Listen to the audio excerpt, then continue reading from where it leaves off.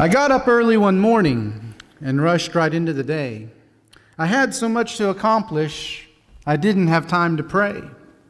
Problems just tumbled about me, and heavier came each task. Why doesn't God help me? I wondered. He answered, You didn't ask. I wanted to see joy and beauty, but the day toiled on gray and bleak. Why, I wondered why God didn't show me. He answered, But you didn't seek. I tried to come into God's presence. I tried all my keys at the lock. God gently and lovingly chided, My child, you didn't knock. I woke up early one morning and paused before entering the day. I had so much to accomplish that I had to take time to pray. We've been talking about prayer's powerful potential over the past several weeks. And for the last three weeks, or the last three lessons anyway, we have been uh, talking about principles for powerful prayer. And we've talked about four so far uh, living a righteous life, being devoted to prayer, being watchful in prayer, and um, having a pure heart.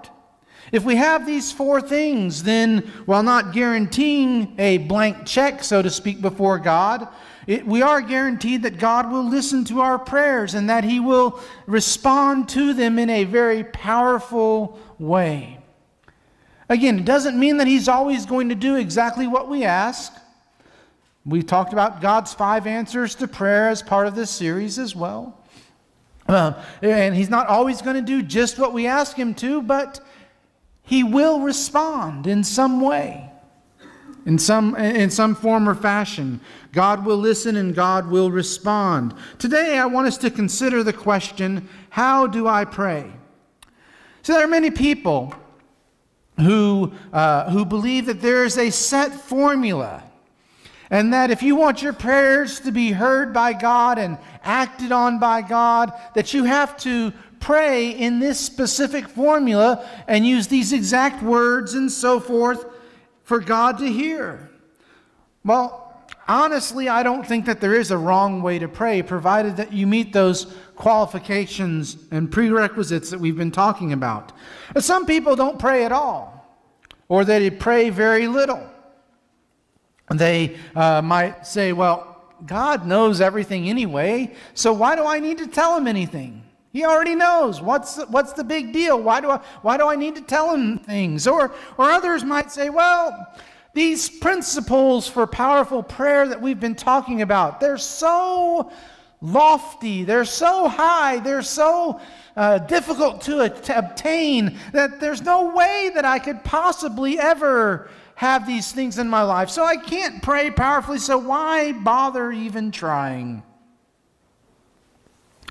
Some people say they're too busy to spend any time in prayer.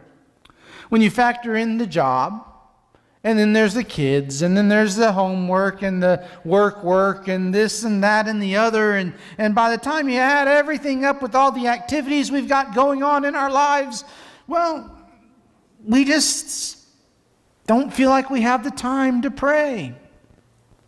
Kind of like that poem I read to you at the start of the sermon. Martin Luther once said, I have so much to do each and every day that I have to start each day by praying for three hours. We hear a lot about marathon prayer sessions, as they're sometimes called. Jesus prayed for an hour in the Garden of Gethsemane three times. Some people claim that they had spent the entire night in prayer when the burdens were great, when problems uh, during difficult times. Uh, we, we, we, we look at these type of people and their claims, and well, we have to wonder, you know, a, you know, an hour, three hours, all night. What on earth did they say? I mean, how could they pray for so long? I mean, I, I think I'm doing good if I can go for five minutes without running out of things to say when I'm praying. Or you might say, Well, I'd like to spend more time in prayer, but when I've said, said everything that I know to say, it still doesn't seem like I've spent enough time praying. Take heart, because if that's you, today's lesson is for you. Still, others don't pray because they simply don't know how. If you feel that you don't know how to pray, rejoice because you're in some pretty good company. Turn in your Bibles to Luke chapter 11. Luke chapter 11. In Luke chapter 11, let's look at verses 1 through 4. One day, Jesus was praying in a certain place. When he finished, one of his disciples said to him, Lord, teach us to pray just as John taught his disciples. Even the disciples of Jesus didn't feel that they knew how to pray. So the disciples of Jesus do the very best thing that they possibly could.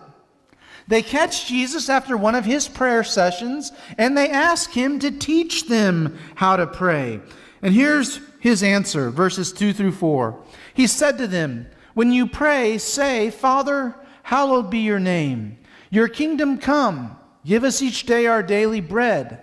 Forgive us our sins, for we also forgive everyone who sins against us. And lead us not into temptation.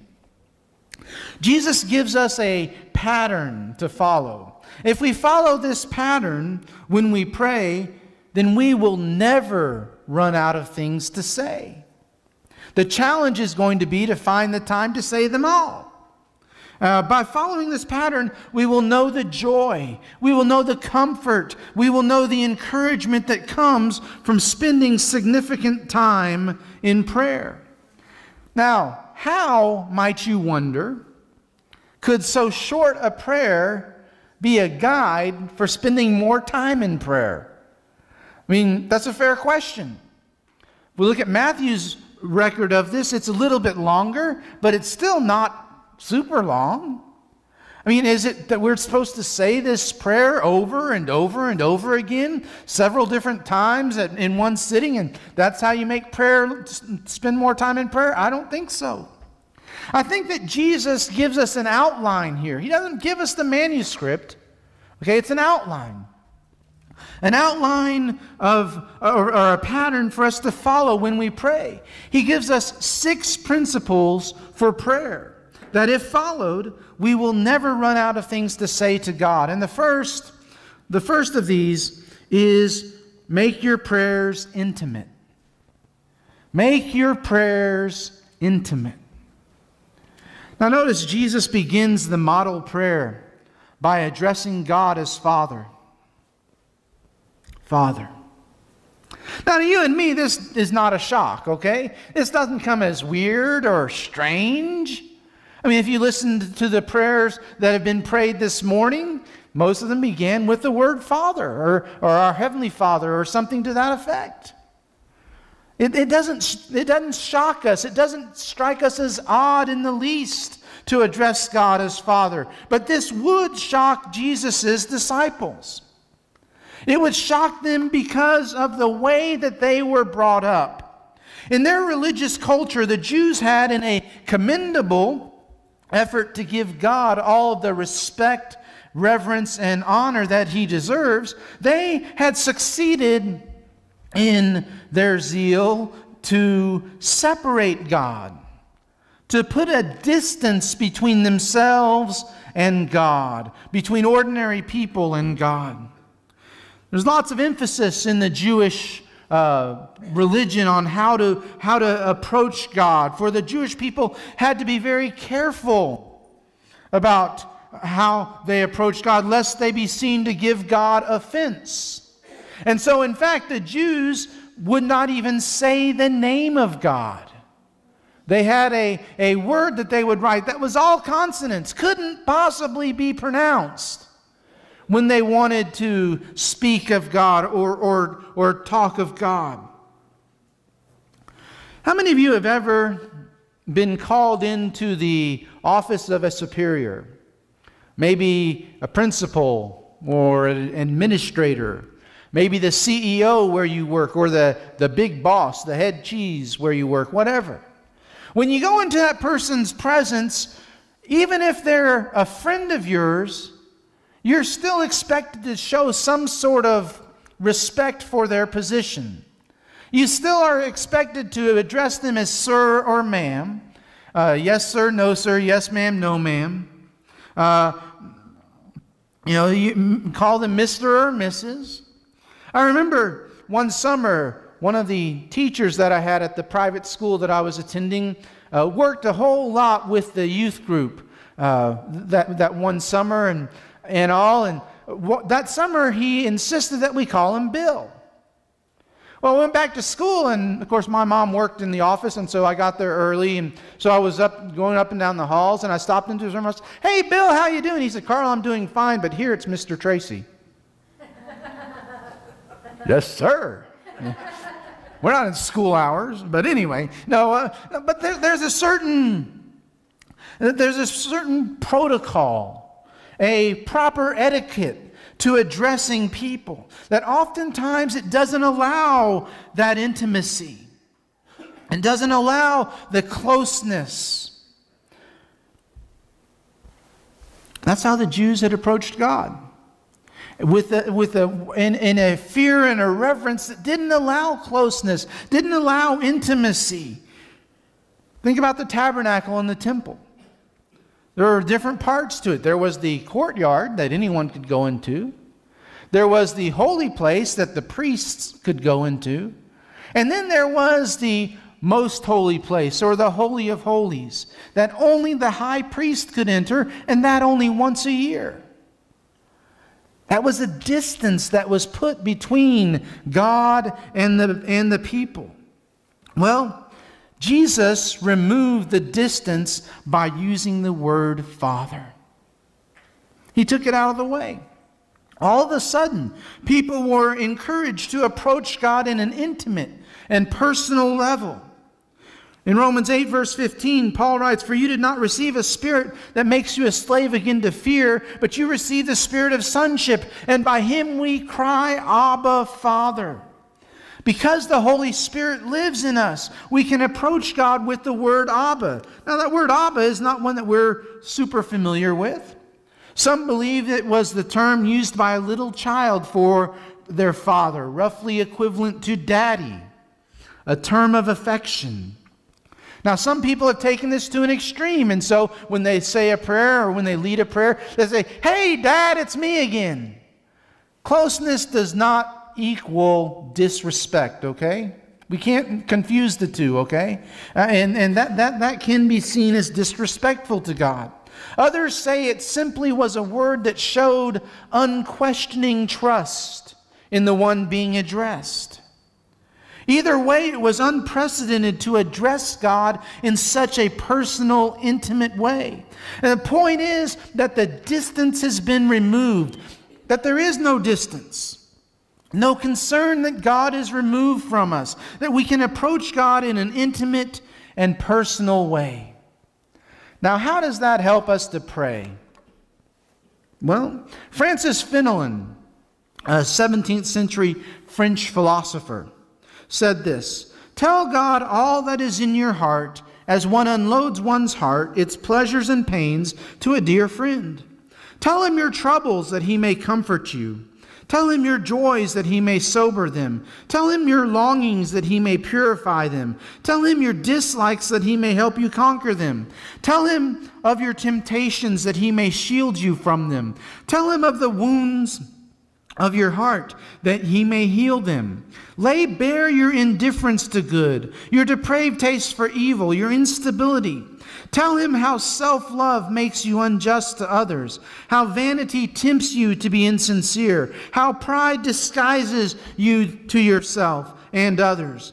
If you thus pour out all of your weaknesses, needs, troubles, there will be no lack of what to say. You will never exhaust the subject.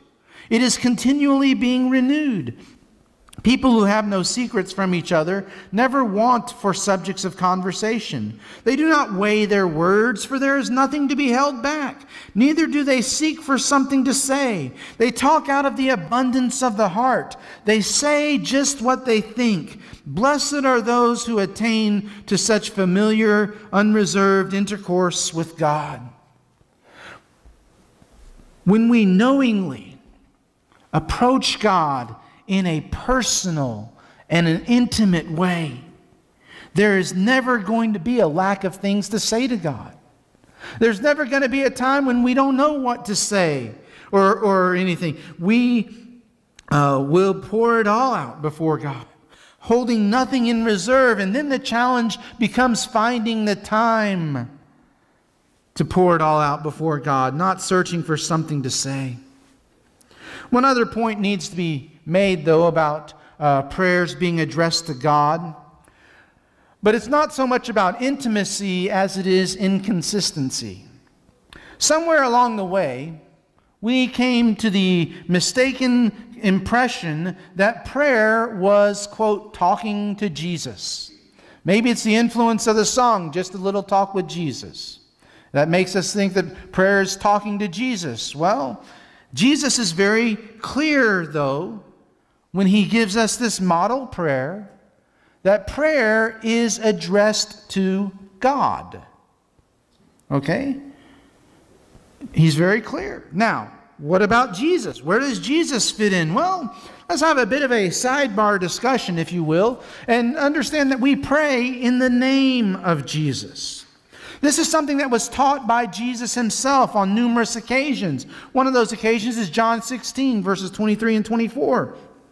Jesus says, I tell you the truth, my Father will give you whatever you ask in my name.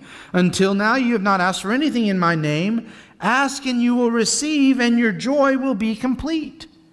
See, before he had not been an, a mediator, now he is our mediator. But it's not only taught by Jesus himself, it's commanded by Paul. In uh, Ephesians 5, verse 20, Paul says, Always giving thanks to God the Father for everything in the name of our Lord Jesus Christ. Someone started praying in your name. That's how they would close prayers. Maybe it was so that they didn't give offense to people who might be offended by the name of Jesus being mentioned. Nowhere in Scripture are we ever taught to pray to God in God's name? That's just not taught in Scripture anywhere. Uh, we pray to God, prayer is addressed to God, but prayed through Jesus, our advocate, our mediator. 1 John 2, verse 1, 1 Timothy 2, verse 5, Romans 8, verse 34, and other passages as well. Now, this means more than simply adding in Jesus' name, amen, to the end of our prayers. By praying in Jesus' name, though that is important, what I mean is that we acknowledge that Jesus is the only way by which we can approach God. John 14, verse 6, Jesus says, I am the way, the truth, and the life. No man comes to the Father except by me. Now, there's many different applications to that. One of those is if we want to approach the Father in prayer, we need to do it in Jesus' name. But more than just acknowledging Jesus as the only way we, we can approach God, we also recognize Jesus as our high priest who intercedes for us. Hebrews 7 24 and 25, John 14 13, and again, other passages as well. So we need, when we pray, to make our prayers intimate and avoid inconsistency that is seen in some prayers that are led by people. Make your prayers intimate. Second thing we need to do for our prayers is make your prayers reflective. Make your prayers reflective. Jesus follows this intimate form of address with the words, Hallowed be your name. Now, hallowed, that's another one of those words that we don't really use a whole lot nowadays. Well, hallowed means to adore God, respect Him, to give Him praise and glory that He deserves. That's what it means to, to hallowed be your name. That's what, that's what Jesus is talking about here. Uh, to accomplish this requires a period of reflection for us. It's hard to move from the world and its cares and sit down and immediately give God praise when we don't take the time to reflect on how good God really is. When we don't take the time to reflect on the ways that He's blessed our lives, the way uh, that He has blessed us with creation, uh, whatever else He has done. That's why it's so important, guys, when you're on the list to lead a prayer and you can't be here for whatever reason, you need to let Jason know ahead of time, like before just not showing up, okay? because he needs to get somebody else and give them time to prepare themselves to lead the congregation in prayer. It's not just a simple matter of, well, you just get up here and you talk. Now, that, that's not what prayer is, and we need to understand it. We need to be able to give him praise and honor. It calls for a time of reflection.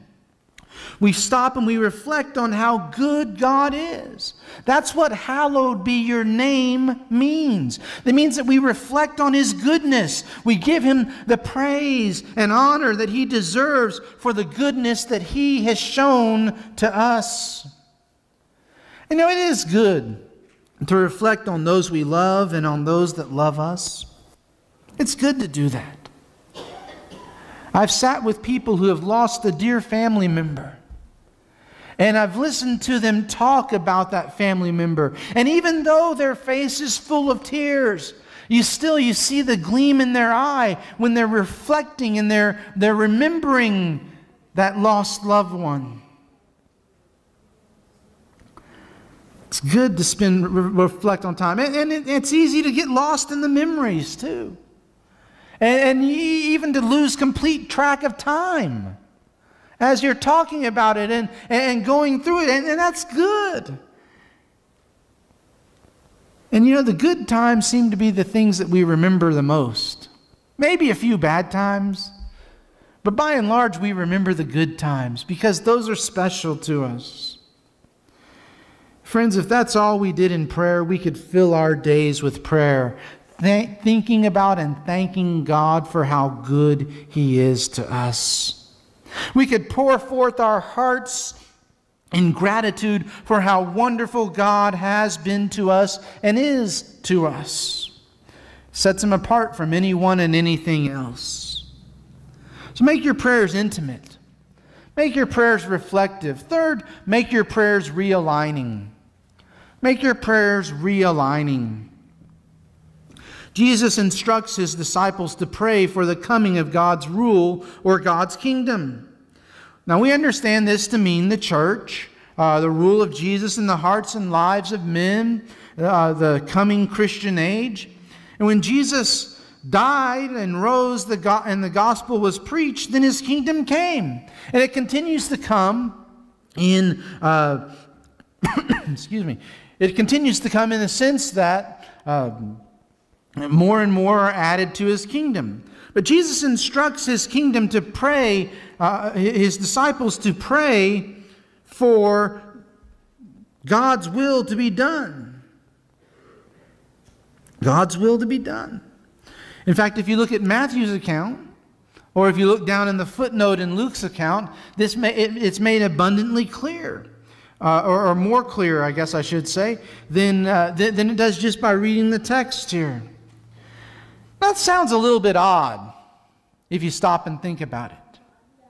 Praying for God's will to be done. Why should we pray for God's will to be done? I mean, He's God, right? He's all powerful, right? Why do we need to pray for His will to be done? Well, one reason is because oftentimes His will is not done. It's not. You hear about all the bad things going on in the world?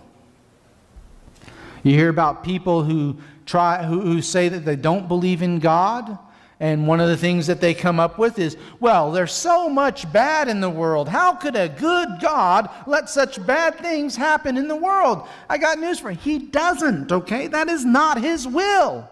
That happened because man started imposing his own will instead of doing what is God's will. And that's why the bad things happen in the world, is man puts his will above God's will. But, uh, but he tells us to pray that his will be done. Over and over, Paul will write to his, in his letters to his readers to pray that the gospel would spread and to pray that God would help him, Paul, to preach the gospel and that, that would fall on receptive ears and in receptive hearts. All these things are things that we think would go without saying normally. Things that we would think that God would want and would do anyway. Yet we are told to pray for them. Why? Because it helps to realign our lives with God's will. Every so often, it's helpful if you get the wheels of a car realigned.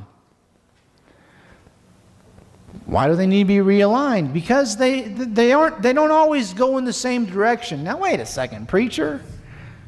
You've said you don't know a whole lot about cars, and this proves it. Because, I mean, I drive my car and we're going the same direction.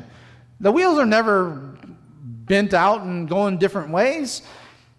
I'm not talking about major out of alignment. I'm talking about just, you know, a fraction of a millimeter out of alignment. Your car's still going to get you where you want to go, but the tires aren't exactly spinning the same direction. And when that happens, it causes excessive wear and tear on the car, specifically on the tires. It's very important that they are going in the same direction. We can see that with cars, but it's a lot harder when it comes to our lives. So our lives can get so out of line with God's will. And when that happens, it creates excessive wear and tear on our lives. And so, every so often, we need to realign our lives with God's will. When we stop and pray, Your kingdom come, Your will be done on earth as it is in heaven, as the footnote here says, then we realign our lives with God's will for that day. If we repeat that on a daily basis, then we realign our will with God's will for our lives. So make your prayers realigning. Make them intimate, reflective, realigning. Number four, make your prayers relevant. Make your prayers relevant. Give us each day our daily bread. Jesus instructs us to pray for even the most basic of needs. What could possibly be more basic than one's daily bread? Just simple things, basic things. Jesus instructs us to pray for even the most obvious of things. Anything that affects us, anything that we are concerned about, Jesus invites us to pray for about these things. Bottom line, prayer must be relevant to our lives. It must be relevant to our lives. It must mean something to us. Those struggles that we are faced with, the needs that we have, the heartaches that we feel, the sadness, the temptations. My friends, if it is important to you, it is important to God. God is our Father, after all. And what, what, means, what means a lot to us means a lot to Him. There's nothing we cannot pray for. Know, there, there are things that my daughters are interested in that, y'all don't listen, I couldn't care less about. Except for the fact that my kids are interested in it. And because my kids are interested in it, I'm all over it. I'm all about it. I'm interested in it because they're interested in it. And folks, God is the same way. If you're interested in it, He's interested in it. He wants you to pray about it. It must be relevant to our lives. If it is important to you, it is important to God. In 1 Peter 5, verse 7, Peter writes, Cast all your anxiety on Him because He cares for you. He doesn't say cast most of it or just the really big important things. He says, Cast all your anxiety on Him. What about basketball games? Does He really care? I mean, can I pray for a team to win? Well, you got to understand that there are probably some other people cheering for the other team that are also praying for that team to win. God can't say yes to both. I don't think God really cares a whole lot about sports myself. But if it's important to you, it's important to Him. And so maybe the prayer ought to be hey, God, help us to perform to the best of our ability. Help us to do our very best. And, and, and keep us safe. What about tests at school? Oh, yeah. Pray about those tests in school. Prepare for them, okay? Don't think that you're, you're going to have some supernatural knowledge that just pops into your head and you're going to know what the answers are. No, you got to prepare for them, but pray about it. Pray about the things that you have to do in the course of your job at work. Pray about things that are important to you because they are important to God. Make your prayers relevant. Number five, make your prayers cleansing. Oop. Make your prayers cleansing. Forgive us our sins. Jesus knew that all of us make mistakes except him. Okay, he didn't make mistakes. We make mistakes. He knows we make mistakes. I say things in the course of, the, of a day that I'm ashamed of. I say things I wish I hadn't said. I do things that I wish I hadn't done. I think things that I wish I hadn't thought in the course of a normal day. I act in certain ways that I wish I hadn't acted. And in prayer, we ask God to forgive us of those things, and God forgives, and we are cleansed. 1 John 1 7 says, If we are walking in the light as he is in the light, we have fellowship with one another, and the blood of Jesus, his Son, continually cleanses us from all unrighteousness. So we pray for God to forgive us. Excuse me. But in the process, we forgive others as well. Matthew 6, 14 and 15 is very clear in Matthew's account of this. If we don't forgive other people, God won't forgive us. Pretty simple, pretty easy. Not so much, is it? But see, here's the thing we have, there's an added benefit to forgiving others, and that is there's less physical problems. You know, a lot of times, a lot of the physical ailments that we experience can be traced back to not forgiving people, from carrying a grudge against people. Now, grudges can get pretty heavy on your back as you're carrying them around. Best thing you can possibly do with a grudge is lay it down. Forgive them. Even if they don't even ask you to forgive them, you can forgive them. Make up your mind that you're not going to carry it around anymore. At the end of the day, I ask God to forgive me, and I forgive others. And there's no bitterness at all present. It's cleansing in that I am forgiven and I forgive. So make your prayers intimate. Make them reflective. Make them realigning. Make them relevant. Make them cleansing. And finally, make your prayers protective. He says, Lead us not into temptation. Jesus knows, just as he knows that we're all going to make mistakes, we're going to give in to temptations. Jesus knows that we are at our strongest when we are on our knees. So ask God to protect you. Ask God to protect your loved ones. Ask God to protect your friends, all those people who are important to you. Ask Him to protect them from sin, to protect them from the evil one, to protect them from harm. Once was at a church, where a brother, every time he would say a public prayer, he would always include in that prayer, and be with all those who it is our duty to pray for. And I really wanted to say, okay, so who are they? You know, God doesn't want us to just make these blanket statements. He wants us to be specific about our prayers. I believe that with all my heart. So ask God to do that. Jesus, when he had his encounter with Satan in Matthew 4 1 through 11, excuse me, he gives, we learn the absolute best advice when we're tempted is to say, Get away from me, Satan.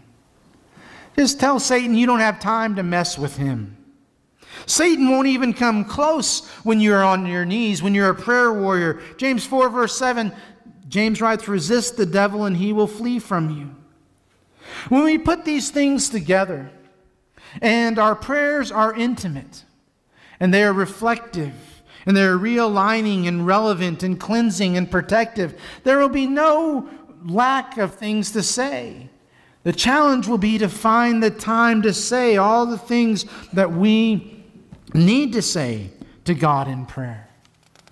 But see, a lot of times people say, well, I can't pray because, well, you know, it's just, it, these things are just too tough. They're too high. They're too lofty. How on earth can anyone meet any of these conditions or all of these conditions for prayer? Well, the thing is, you can't by yourself. That's why 1 John 1 is so very important. It continually cleanses us. God is ready to help us as we pray if we'll accept His help. This morning, if there's somebody here that hasn't had God's help, maybe you haven't had God's help simply because you haven't put, him on, put on the Lord in baptism, you've not joined God's family. So He's not your Father. He stands ready and willing to adopt you today. Perhaps you made that commitment, but you haven't been very faithful to that commitment. And you need the prayers of the church to, to help you be more faithful in prayer, to help you be more faithful in the, in, in the witness that you live each and every day to the people who are around you. My friends, the thing is that we can't help you if we don't know what the need is. And so we always like to give an opportunity for anyone who is here who's not right with God to make things right. Maybe that's a, a, private response where you're at saying, God, I know that I need to change and please help me. But maybe it involves a public response. And if, if that's the case, please don't leave here before you make that response. And if we can help you in some way, won't you come to the front as we stand and sing together?